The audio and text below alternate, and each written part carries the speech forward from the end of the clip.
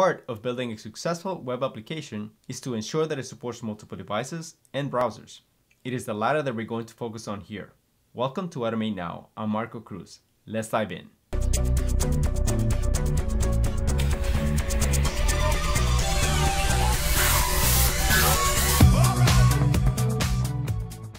And let's just say that we had this scenario in which we go to this website, automatenow.io, and then we want to perform a validation to make sure that this logo shows up on the screen. And we want to test this scenario on multiple browsers. Let's go to the code. And this is the test right here. We're just performing an assertion to make sure that the logo is displayed on the screen.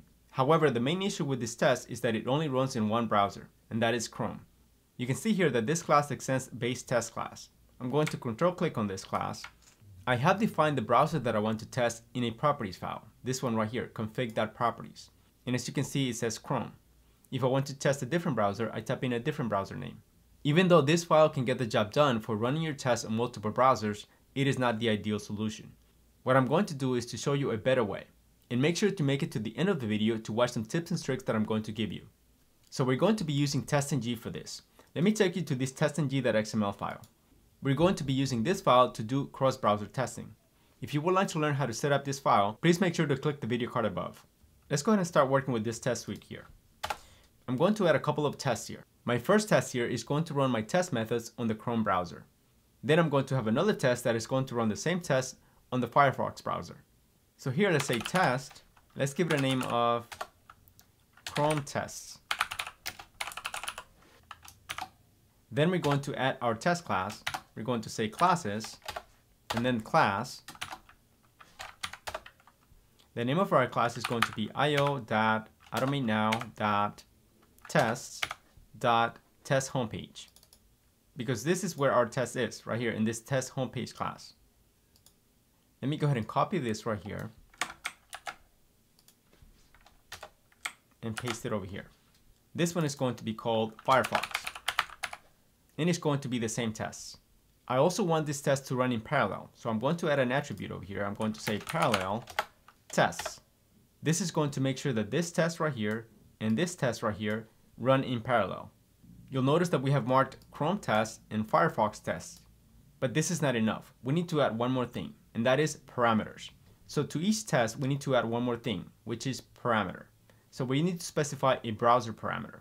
Let's go over here. We're going to say parameter the name of it is going to be browser. And in this case, the value is going to be Chrome. Let me go ahead and copy this right here and bring it down to this other test. But instead of Chrome, I'm going to say Firefox. So we've said here that this test class should run under the Chrome browser. And this test class should also run under this other browser. And before I proceed, I need to mention something that is very important.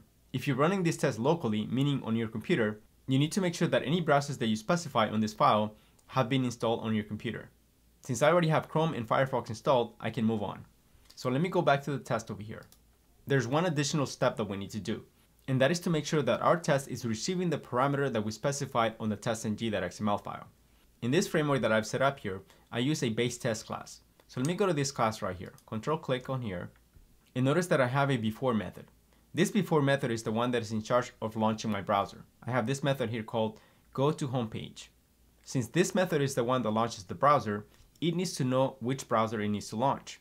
So I'm going to add a new annotation here. So I'm going to say add parameters. And the parameter that we're going to add is the one that we specified in testng.xml. Let's go back over here. This is the parameter name, browser. So I'm just going to copy this right here and paste it over here. You can also use braces around this right here, like so. But that is mainly used when you have multiple parameters. In my case, it is not really necessary. Then we're going to go to the setup method here, and we're going to say string browser. This parameter here is the one that is going to receive the browser information, that same information that we specified in the testng.xml file. Now we need to pass this information to this method over here, the go to homepage method. So let me go ahead and add that over here. I'm going to say browser. Right now it's throwing an error because I don't have a method that accepts a browser parameter. So I'm going to control click here and I'm going to add a parameter here. I'm going to say string browser and notice that I have a few methods here. One is loading this properties file, which is this file over here, and then we have this open browser method. This is the one that is launching the browser. Before I pass in the parameter to this method, let me go to that method right now. Let me control click this. And notice that it has a switch statement right here. And it takes in this variable called browser. That is because I have a variable called browser that is reading this properties file over here, this information. However, I want to get rid of that. So let me go up here and remove that reference. This is the browser over here. So I'm going to comment this out. And let me go up here. Again, I have to comment this out. Now if I scroll back down, there is no reference for this variable. And that is what we need. Because now we want to read the browser information from the testng.xml file. So over here, I'm going to say string browser. Then I'm going to go back over here. And now I'm going to pass in the parameter to this open browser method. So let me grab this right here and paste it over here. So I hope you're following so far. So this is what is going to happen. When we pass in Chrome, this Chrome browser is going to launch. And if we pass in Firefox, then that browser is going to launch. And that is all we need to do to run our test on multiple browsers. Now let's do a quick review. Let me go back to testng.xml. So here we specify the browser name. This Chrome and Firefox browser information is going to get passed to this method over here, the before method, via the browser parameter. We're then passing this parameter to this method over here. If you look at this method over here, we have another method called open browser. And this method launches the browser with the information that we got from the testng.xml file. It is now time to run our test to see what it looks like. So I'm going to go to this testng.xml file. Then I'm going to right click this file and select run. These tests are going to run in parallel, so we're going to see two browser windows, one for Chrome and one for Firefox. So this is Firefox over here and Chrome. I'm going to put them side by side over here.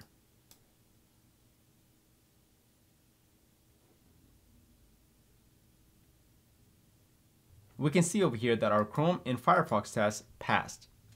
Before I go, I want to show you one cool little trick.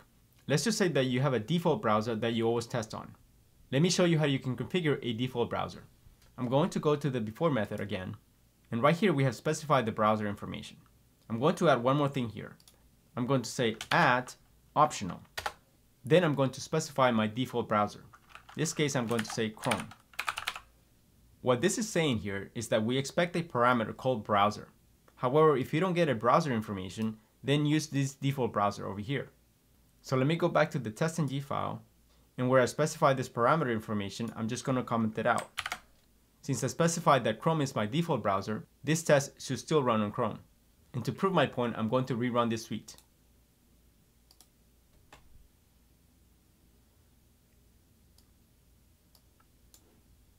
Here I have Chrome and Firefox. Would you like to learn my top 3 tips on parallel testing? If so, click the video on the screen. Thanks so much for watching, and as always, please leave any comments or questions you may have in the section below. I'll try to get back to you as soon as I can. I'll see you guys in the next video.